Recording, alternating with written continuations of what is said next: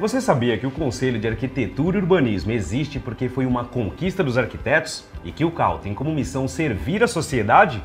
Criado em 2010, o CAL é uma autarquia federal. Bem, podemos dizer que é uma instituição com os seguintes papéis: orientar o exercício da arquitetura e urbanismo, fiscalizar serviços ilegais, promover a ética profissional e atuar para melhorar a profissão. Em síntese, o CAL trabalha desde a formação do arquiteto passando pela atuação profissional até os registros de seu histórico, garantindo a qualidade do trabalho e a segurança de todos. O CAL também atua na valorização dos profissionais perante a sociedade. O projeto Mais Arquitetos é um bom exemplo disso, mostrando que arquitetos e arquitetas são agentes transformadores do mundo em que vivemos.